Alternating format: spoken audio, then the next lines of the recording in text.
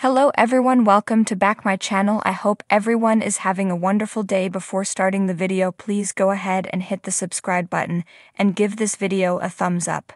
Today the shocking news came out that Nic Kerdiles of Chrisley Knows Best passed away in a motorcycle accident at the age of 29. It happened about 3:30 a.m. in Nashville when Nic ran into another car after running a stop sign. It doesn't appear that either one of them was impaired, and there is no word on whether Nic was wearing a helmet or not. At first, the Chrisley family was quiet, but they started to speak out. Earlier tonight, Chase Chrisley shared his love for Nic by simply saying, No words, I love you, man, along with a picture of the two.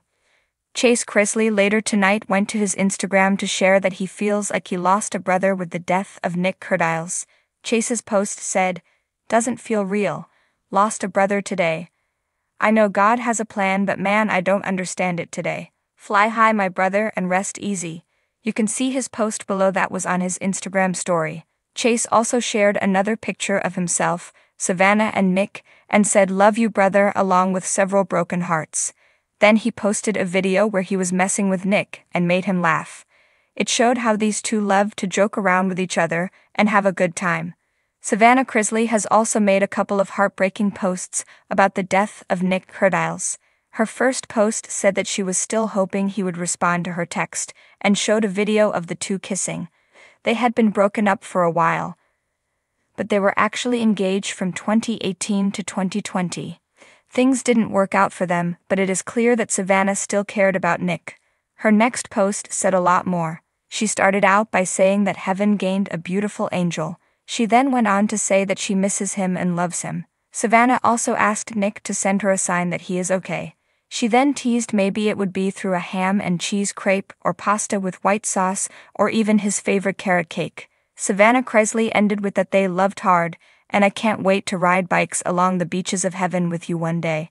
TV Shows Ace reported the details of his tragic passing earlier today.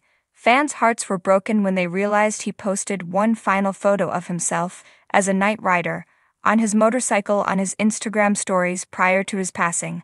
Nic passed away as the result of a motorcycle accident. He ran into a vehicle, but neither driver was impaired. It has not been revealed if he was wearing a helmet or not at this time. In fan groups on social media platforms, many fans admit they were struggling to accept Nic Kerdiles was dead, and they hoped he was the victim of a nasty death hoax. Sadly, individuals who lived in Nashville were able to confirm the reports were true, Nic was gone. In the past hour, Savannah Chrisley has finally broken her silence on Nic Kerdiles' passing. What did she have to say about the death of the man she once planned to marry? How was she coping with the death of the man whom her brothers and fathers considered a member of the family, even though they had broken up?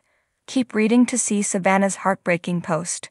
Savannah Chrisley took to her Instagram stories about an hour ago to address the passing of Nic Kerdiles.